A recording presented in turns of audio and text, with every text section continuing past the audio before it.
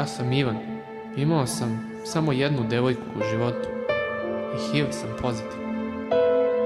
Od prvog diagnostikovanog slučaja HIV infekcije u Bosni i Hercegovini 1986. godine do kraja novembra ove godine registrovano je ukupno 314 slučajeva zaraze HIV-om. Mi u Republike Srpskoj do sada evo, imali smo 107 slučajeva, što ne predstavlja neki veliki javno-zdravstveni problem.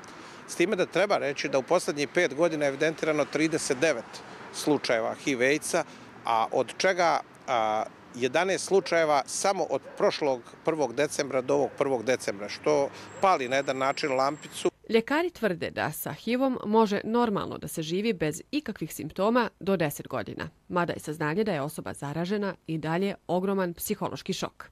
Imate ljude koji sumljaju, imate ljude koji su zaista zatečeni. E, mahom su zatečeni supružnici koji nisu znali. Kada se osoba zarazi, sva energija je usmjerena najprije na prihvatanje tog saznanja, a zatim liječenje. Međutim, mnogo manje je potrebno da se sve to spriječi. Samo je potrebno djelovati na vrijeme. Seksualna revolucija je u punom jeku, a da mlade osobe nisu sasvim upućene u opasnosti koje ih vrebaju.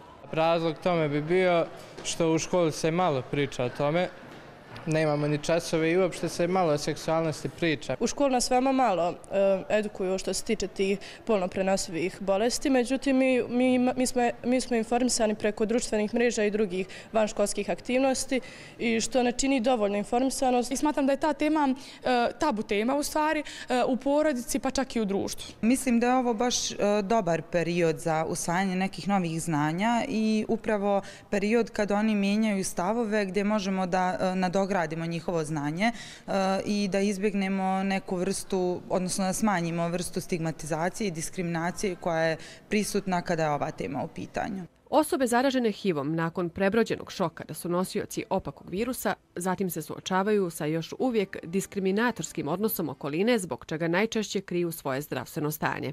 Nema tu puno razlike između nekog koji je oboleo od karcinoma i njih okolina neko ko je bole od karcinoma. Mislim, sad ispada hladnokrvno s moje strane i možda čak i drsko, da, o, kako se zove, nijedni ni drugi nisu želeli da dobiju tako nešto. A jedna i druga su smrtonose na kraju.